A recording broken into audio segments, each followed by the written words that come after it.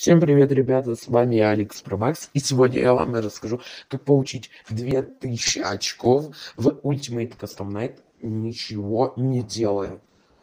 Ну что ж, давайте же начнем. Первое, что нам надо будет сделать, это выбрать аниматроников. Нам надо выбрать их несколько. Вы сейчас видите, какие аниматроники у меня на 20 выбраны. Я это уже пробовал. И, кстати, спасибо огромное Тимуру. Он мне огром... он мне очень помог в этом. Э, я вчера просто с ним прошел это. Это было для меня шоком. И я сегодня уже это все прошел. И вот, короче, выбираем этих аниматроников. И я вам все далее буду рассказывать.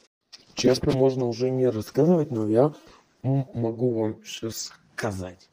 Просто вы просто включайте Ultimate Custom Night в Steam или где вам там Game Jolt. Просто выбирайте тех аниматроников, которые были показаны. И э, все, включайте ночь. Вы можете просто уже все напросто ничего не делать, просто можете там что-то свое ютубчик смотреть, пока ночь будет проходиться.